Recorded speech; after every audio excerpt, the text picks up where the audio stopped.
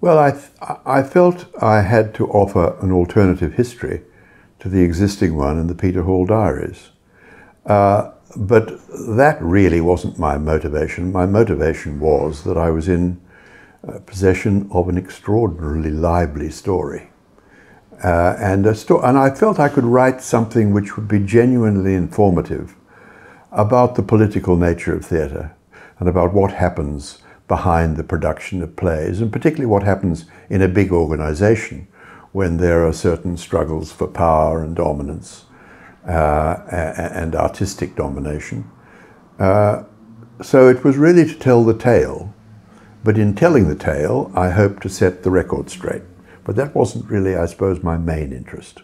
I also very much wanted to celebrate my years with Olivier, both, you know, the arguments and differences we had, but also to celebrate his talent, which I hope I did in my account of Long Day's Journey into Night, and also the relationship I had with him. And it was a particularly exciting time in the British theatre.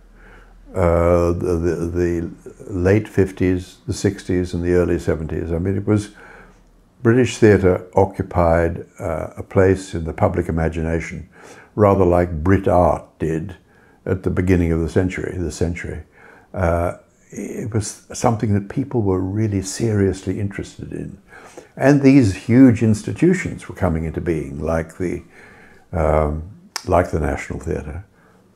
And it was a lovely time to be part of it. Great time to be part of it.